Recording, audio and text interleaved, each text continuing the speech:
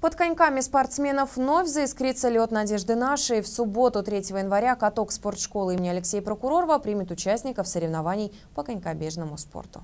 Будут принимать участие ну, все желающие города. В основном это будут, конечно, дети. Цель этих соревнований – привлечь больше э, детей – для занятий в детской спортивной школе на отделении конькобежного спорта. Дистанции 2, 50 и 100 метров. Возраст участников ну, первые, вторые классы, третьи, четвертые, пятые, седьмые бегут 50 метров, остальные 100 метров. Лед надежды нашей. Всероссийские соревнования, которые пройдут в 36 регионах страны. В них примут участие порядка 10 тысяч любителей конькобежного спорта.